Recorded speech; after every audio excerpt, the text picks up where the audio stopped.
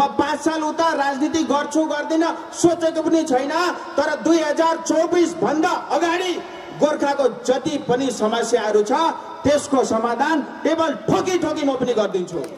पन्ध्र सालदेखि के झिङ्गा मारेर बस्नु भएको थियो? मैं राष्ट्रभाषा होते हुए मातृभाषा तक पहुंचूंगा। इसलिए सबसे निवेदन करता हूं थोड़ा धैर्य रखें।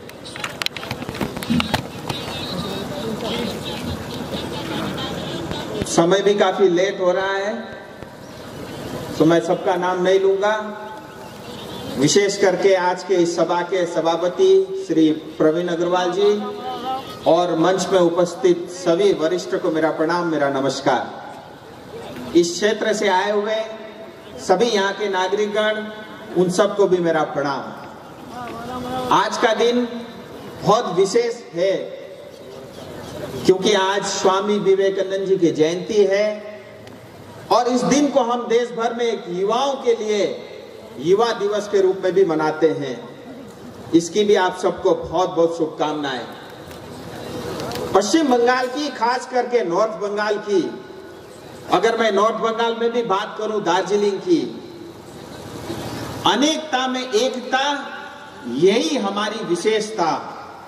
चाहे यहाँ रहने वाले गोरखा हो चाहे आदिवासी हो, राजवंशी हो, कोच, मेचे, टोटो, बंगाली, हिंदी भाषी, हम सब लोग मिल करके रहते हैं। यही हमारी सबसे बड़ी ताकत और यही हमारी सबसे बड़ी स्ट्रेंथ है।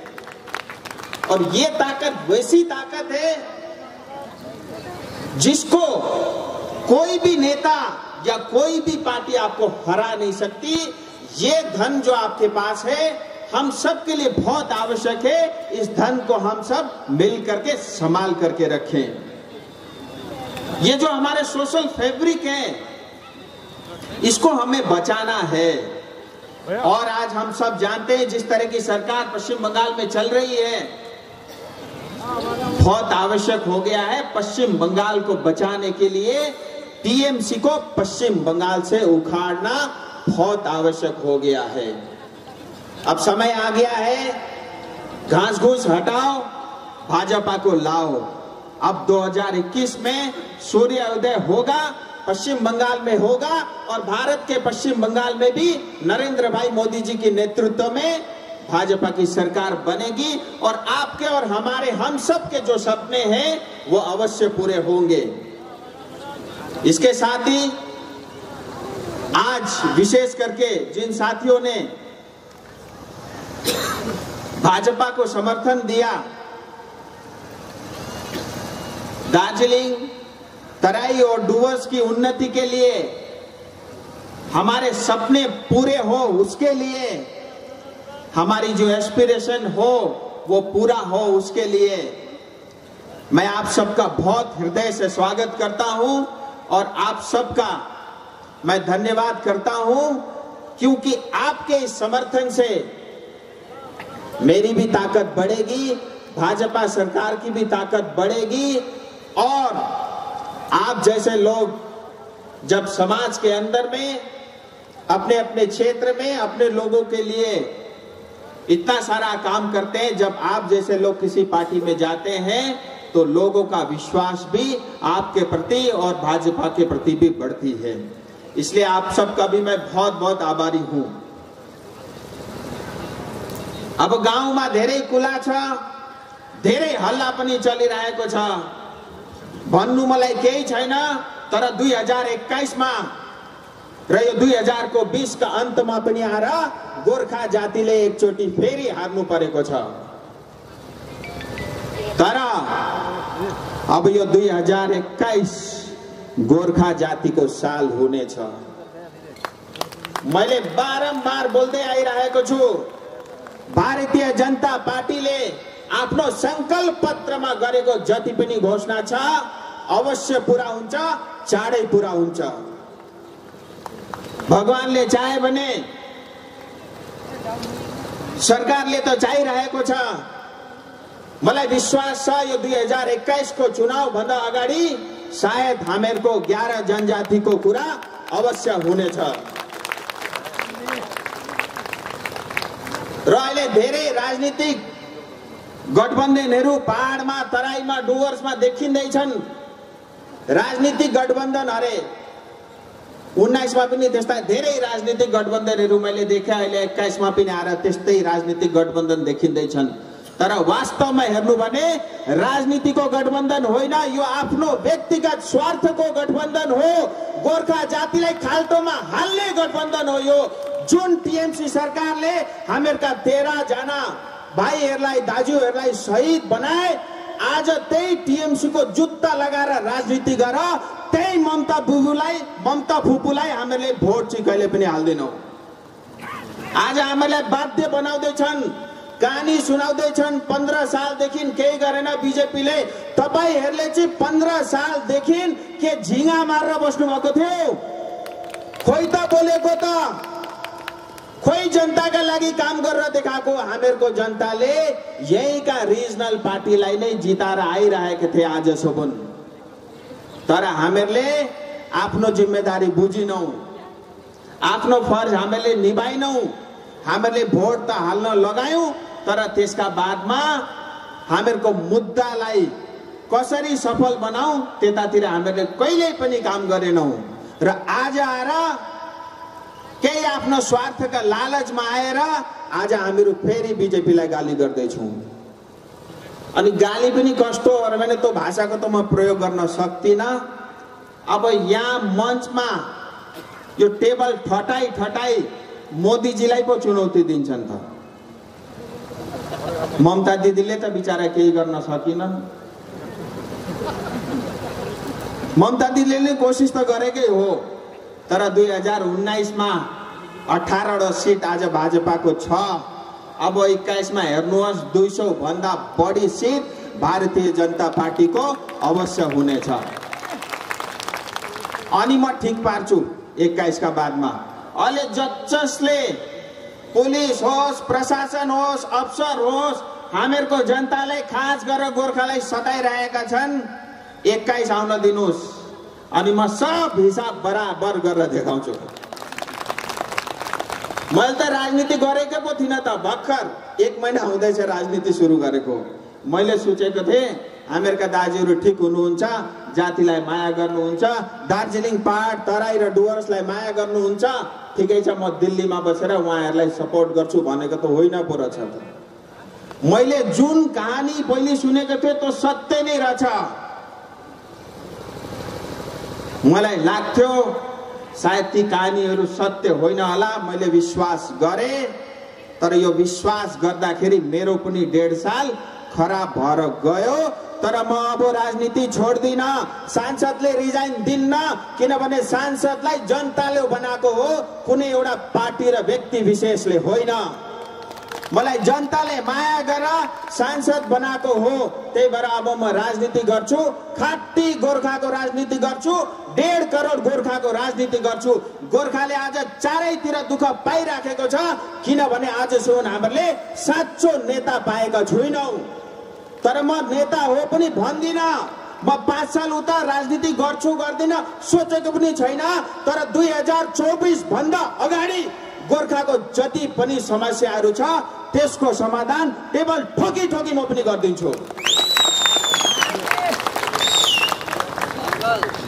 अनि अर्को के अरे भन्दा सांसद बेसी के भन्नु के? केही छैन? सांसद बेसी बोले अरे। नबोल्दा बोलेन भन्ने बोल्दा बेसी बोल्यो भन्ने कुनैले खिर मात्रै खुवाएर पनि गए कुनै आउँदै आएनन् त्यस्ता पनि चलिरहे किनभने हर पाँच सालमा फेर्न पाइहाल्यो रुपियाँ पैसा पाइहाल्यो मजा पो थियो त यहाँ त राजनीति गर्न त।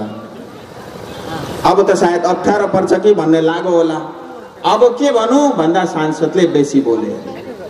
अब मलाई के लाग्छ भने साँच्चै नै मनदेखि सांसदले बेसी बोले भनेको हो भने के चाहेको रहेछन् अरे भन्दै मैले सोध्दै सोच्दै लाँदाखेरि यस्तो पो लाग्यो। कि हामीहरूको सपना पुरा नगर्नुका लागि पो मलाई पठाएको हो कि? जस्तो पो लाग्यो। यहाँबाट म जानु अरे नबोल्नु अरे। बोल्छु अझै बोल्छु कसैका बाउले पनि रोक्न सक्दैन। डेढ साल बाद बोले साढे तिन साल अझै बोल्छु गराएर पनि देखाउँछु। एघार जाति पनि हुन्छ स्थायी राजनीतिक समाधान पनि हुन्छ भारतको संविधानले हुन्छ गोर्खाको सपना पनि पुरा हुन्छ। यो निधारमा लेखेको यो नेपालको हो भन्ने त्यो पनि म मेटाएर देखाउँछु हेर्नुहोस्। अनि दार्जिलिङ हिल तराई र डुवर्स मात्रै होइन। समग्र हामीहरूका गोर्खावासी बस्ने मणिपुर नागाल्यान्ड अरुणाचल प्रदेश मिजोरमदेखि लिएर आसामदेखि लगायत उत्तराखण्ड हिमाचल तल अहिले त चेन्नईसम्म पनि पुगिरहेछन्। के अरे गुजरातको कच्छमा पनि गोर्खाहरू बस्छन्। सबैलाई समग्र रूपमा लिएर जति पनि समस्याहरू पनि छ जति पनि हामीहरूको सपनाहरू छ त्यो अवश्य पुरा हुन्छ। भारतीय जनता पार्टीले नै हुन्छ र म यहाँका जनताको म ऋणी छु। किनभने तपाईँहरूले मलाई एउटा प्लेटफर्म दिनुभयो एउटा गर्ने काम गरेर देखाउने स्थान दिनुभयो त्यसका लागि म तपाईँहरूलाई कोटि कोटि प्रणाम पनि गर्छु। म ऋणी छु दार्जिलिङ तराई र डुवर्सको जनताको प्रति राजनीतिमा केही गर्छु भनेर सोचेर आएको थिइनँ। बिजेपीले जा भनौँ विमल दाजुले पनि यस भाइ भनेर आएको थिए। तर यहाँ आउँदा मैले अब कारण पाएँ। अब दुई हजार चाहिँ यो राजनीति म छोड्दिनँ गरेर देखाउँछु। तपाईँको र मेरो सपना हामीहरूको सपना पुरा गरेर देखाउँछु। विमल दाजुको मलाई धेरै माया लाग्छ। गाली गर्दा पनि बेला बेला अप्ठ्यारो पनि लाग्छ। किनभने डेढ सालको सम्बन्ध उहाँको र मेरो घनिष्ठ पनि थियो। म ढाँट्न पनि जान्दिनँ। उहाँले हिजो अस्ति भन्नुभयो भाइलाई मैले बनाएँ पेन्सन पनि खान्छन्। अरे भाइले हेर्नुहोस् दाजु पच्चिस हजार रुपियाँ पेन्सन खानको लागि म राजनीतिमा आएको होइन। मेरो ड्राइभरले पनि पच्चिस हजार पच्चिस हजारभन्दा धेर तनखा आज पनि पाउँछ। म पैसाका लालचमा राजनीतिमा आएको होइन तपाईँले सायद डेढ सालमा मलाई चिन्न सक्नु भएन होला। या राजनीति बाध्यताले गर्दा तपाईँले बोल्न परेको पनि हुन सक्छ। हो दाजु तपाईँले मलाई बनाएको त होइन। मलाई बनाउन त भगवान्ले बनाएका हुन्। र साँच्चै नै भगवान्ले गोर्खा जातिका लागि काम गर भनेरै बनाए जस्तो लाग्छ। त्यसका लागि भगवान्को म ऋणी छु। धन्यवाद। दाजुले बनाएको त होइन तर रा- दाजुले यो राज्यलाई पोलिटिक्समा ल्याएको चाहिँ हो ढाँट्नु हुँदैन। पोलिटिक्समा चाहिँ राजुलाई दाजुले नै ल्याएको हो। तर दाजुले एउटा गल्ती के गरे भने मलाई चाहिँ रास्ता देखाए आफै चाहिँ गलत रास्तामा हिँड्दैछन् अहिले। टिएमसीको जुत्ता लगाएर पो हिँड्दैछन् त फेरि हेर्नुहोस् त। अब दुई हजार एक्काइस एउटा चुनौती आउँदैछ। म चाहिँ पाण्डवकै साथमा छु किनभने गोर्खा जातिले पार लगाउँछ भने नरेन्द्र भाइ मोदीजीको सरकारले नै पार लगाउँछ। म पाण्डवकै साथमा छु पाण्डवकै साथमा बस्छु अरू धेरै सेनाहरू पनि तयार गर्छु तर दाजु तपाईँ कौरवका साथमा हुनुहुन्छ। कौरवका साथमा हुनुहुन्छ र दुई हजार एक्काइसमा विजय चाहिँ पाण्डवकै हुन्छ।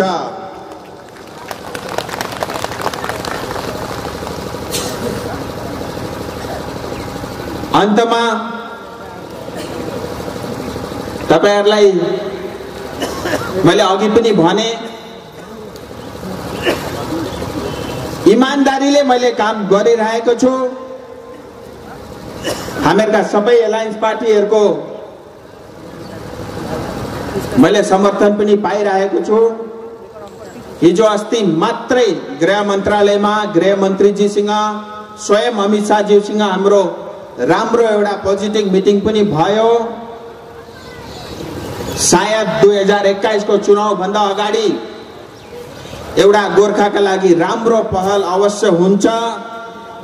एघार जातिको पनि काम चल्दैछ र स्थायी राजनीतिक समाधान उचित समयमा मैले अघि जुन भने हामीहरूको सपना पनि त्यसमा पुरा होस्।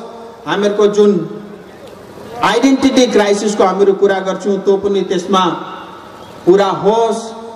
र दार्जिलिङ तराई र डुवर्स मात्रै नभएर सम्पूर्ण डेढ करोड गोर्खा भाषीको सपना त्यसमा पुरा होस् उचित समयमा त्यसको पनि समाधान अवश्य हुन्छ किनभने भारतमा धेरै असम्भव कामहरू सम्भव भएर गएका छन् धारा तिन सौ सत्तर पनि हट्यो सिए कानुन पनि लागू भयो बोरोलिनको समस्याको पनि समाधान भयो हामीहरूको पनि आजभन्दा पहिल्यै हुने थियो। अगर हामीहरूका नेताहरू अलिक इमान्दार हुन्थे भने आजसम्म सायद हामीहरूले पर्खिनु पनि पर्दैन थियो होला। तर जे भए पनि तपाईँहरूलाई म एउटा विश्वास दिलाउन चाहन्छु। हजुरहरूले मलाई जुन प्रकारको माया र विश्वास देखाएर सांसद बनाएर दिल्ली पठाउनु भएको छ तपाईँहरूको चौकीदारी म इमान्दारी पूर्वक डेढ सालसम्म गरिरहेको छु। आउँदो दिनमा पनि अवश्य गर्छु। सबै सबैलाई यहाँनिर पार्टी बचाउनु छ। मेरो पार्टी भनेको भारतीय जनता पार्टी म नानी केटाकेटी हुँदैदेखि साथमा बसेको पार्टी मलाई पार्टी बचाउनु छैन किन भन्दा भारतीय जनता पार्टी समन्दर जेत्रो पार्टी हो। मलाई खालि मेरो जाति बचाउनु छ। र कुनै पनि अवस्थामा यो राजु विष्टले गर्दा यो एउटा गोर्खे छोराले गर्दा मेरो जातिलाई ए अलिकति पनि काहीँ पनि नोक्सान पिराउन दिन्न यो मेरो तपाईँहरूलाई वचन हो वादा हो।